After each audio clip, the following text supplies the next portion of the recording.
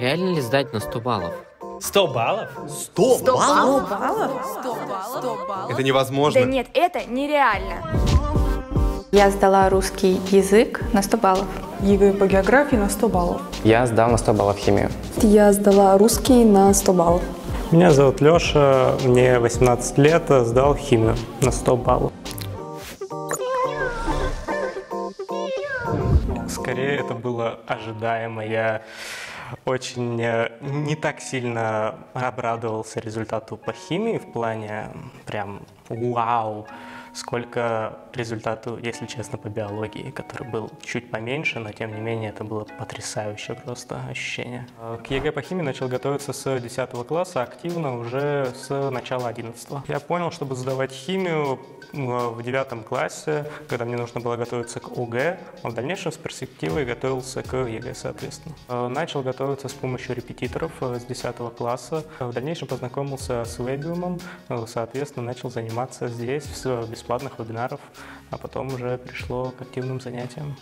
Очень и очень хорошо помог в плане того, что они меня мотивировали, давали знания, дали друзей. Я живу в комнате в общежитии человека, который, соответственно, до этого преподавал мне э, по биологии.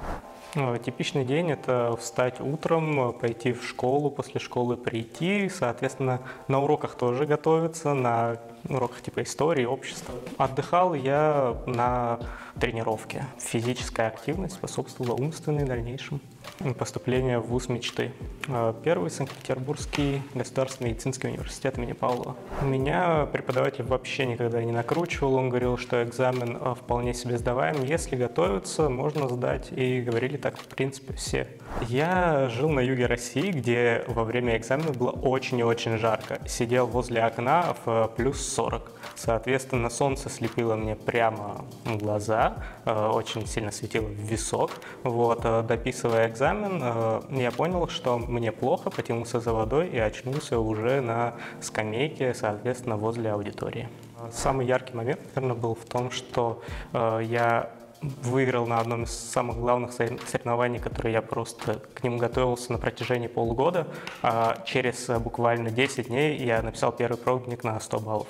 Нет, конечно, но это зависит от человека в первую очередь. Я не лишал себя ни, ни друзей, я общался, я вообще не лишал себя своего любимого хобби, вот, и никому не советую никогда, потому что это действительно очень сильно напрягает, и нервные срывы бывают именно у тех людей, которые, соответственно, прям на 100% отдают себя этой учебе. Не нервничать э, и во время подготовки задавать себе вопросы, почему написано так, а не по-другому. Как можно, как может э, человек, который составляет Кимы, переиначить тот же самый вопрос, который уже на протяжении трех лет встречался подряд, потому что вопросы не безграничные, и тем не менее э, одно и то же они давать не будут.